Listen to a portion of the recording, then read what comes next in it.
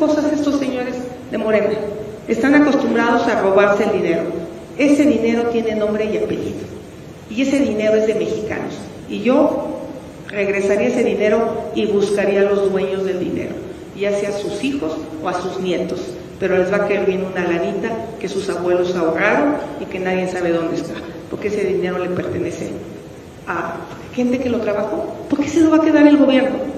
Yo daría para atrás. Si queremos crear pensiones, busquemos el cómo, pero no esa es la manera.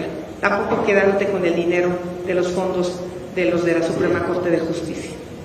O sea, les quitas a unos para darle a otros y, como te digo, no se hizo la reforma constitucional para garantizar una pensión de 16 mil pesos. Ese fue el cuento que el presidente echó para mandar esta iniciativa, que al final de cuentas lo único que hace es quedarse con el dinero de los ahorradores de 70 años y más. Y a rato va por los de 60, ¿eh?